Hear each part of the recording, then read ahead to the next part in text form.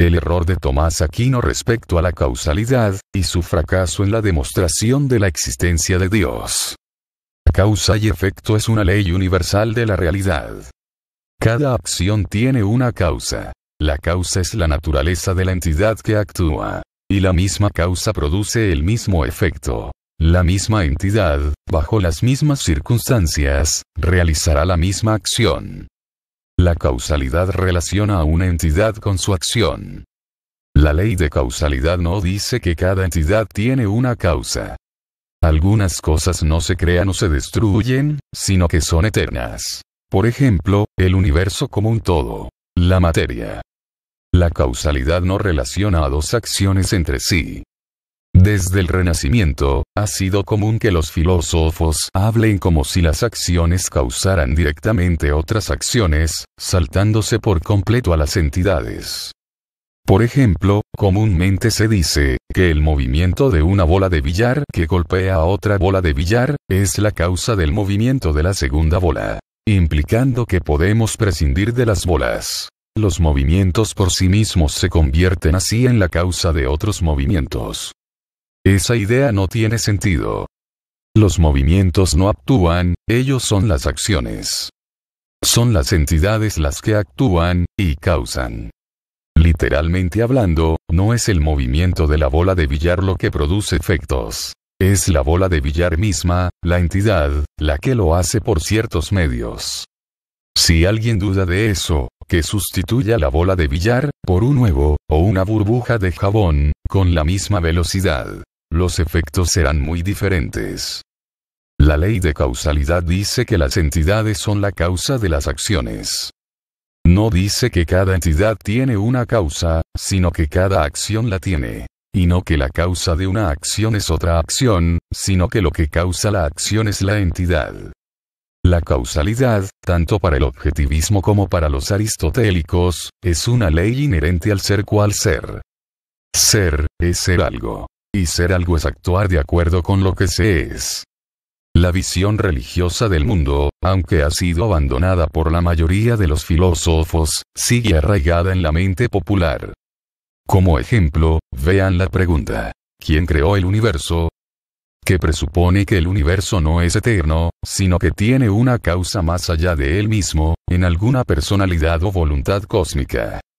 Es inútil hacerles notar que esa pregunta implica una regresión al infinito, porque si un creador es necesario para explicar la existencia, entonces un segundo creador es necesario para explicar el primero, y así sucesivamente.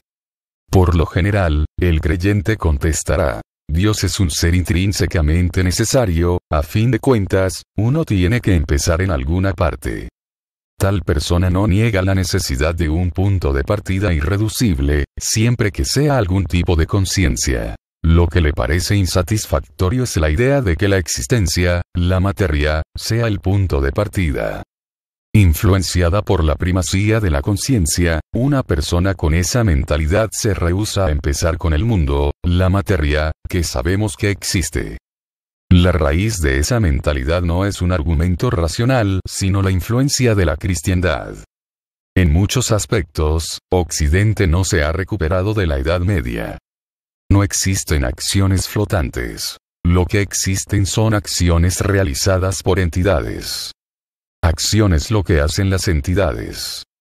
Caminar o digerir, no existen aparte de la criatura con piernas que camina, o el cuerpo o el órgano con enzimas que digiere. Cuando un niño ha alcanzado la etapa de captar entidad, identidad, y acción, en ese momento tiene el conocimiento necesario para captar, implícitamente, la ley de causalidad.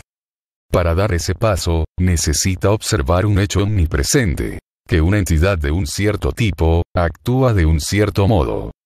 El niño sacude su sonajero y éste produce un sonido. Sacude su almohada y ésta no hace ruido. Empuja una pelota y ella rueda por el suelo. Empuja un libro y el libro se queda donde está, sin rodar. Deja caer un bloque de metal y este cae al suelo. Suelta un globo y este asciende.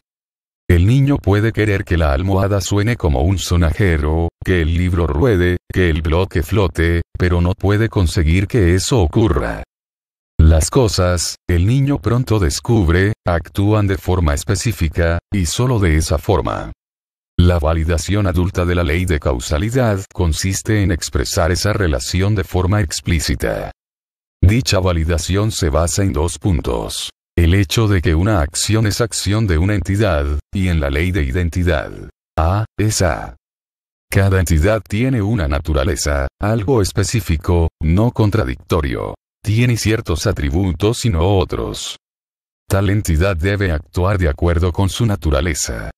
La única alternativa sería que una entidad actuase dejando de lado su naturaleza, o en contra de ella. Y ambas alternativas son imposibles.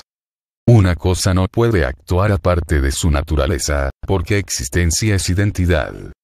Aparte de su naturaleza, una cosa es nada. En cualquier conjunto de circunstancias específicas, hay solo una acción posible para una entidad, la acción que expresa su identidad. Esa es la acción que realizará, la acción que es causada y necesitada por su naturaleza. Así, en circunstancias normales, si un niño suelta un globo lleno de helio, solo un resultado es posible. El globo ascenderá. Si suelta un segundo globo lleno de arena, la naturaleza de la entidad es diferente, y también lo es su acción. Ahora el único resultado posible es que caiga.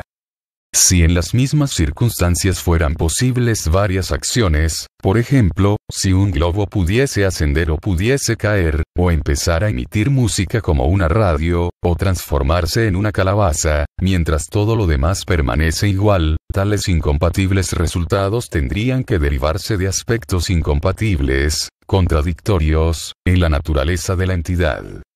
Pero no existen aspectos contradictorios. A es A. Un milagro no significa simplemente algo extraordinario, o poco común. Si una mujer da a luz a gemelos, eso es poco común. Si diese a luz elefantes, eso sería un milagro. Un milagro es una acción que no es posible para la entidad involucrada, por su propia naturaleza. Es una violación de la identidad. Adaptación del libro de Leonard Peikoff, Objetivismo. La filosofía de Ayn Rand.